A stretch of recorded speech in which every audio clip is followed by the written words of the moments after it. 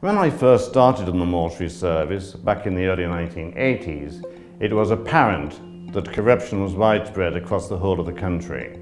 I had colleagues who were stealing money from bodies. I had other colleagues who were selling eyes to specialists in Harley Street, selling brains to medical schools, and organs being harvested.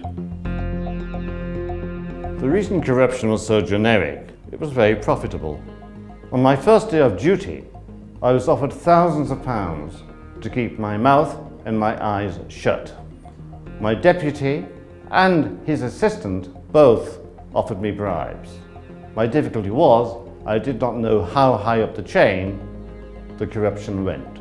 So I laid traps and I secretly and covertly recorded these people on the conversations. I searched desks and bins and eventually I got to the stage where Scotland Yard were called in and I worked alongside them to expose the corruption. I appeared as a main witness at Southwark Crown Court and I was in the witness box for two days. To my horror, on the first day that evening, I was headline news on News at 10 and all the radio and television channels. I think what probably helped the matter to get into the press was that in court I had actually said that the dead do not rest in peace, but in pieces. I was named the rat catcher by my colleagues.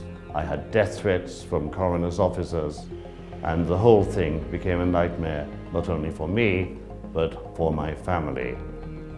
My name is Peter Everett, and I am the author of Corrupt Bodies. By the late 1980s, we got it under control, and at long last, the dead could rest in peace.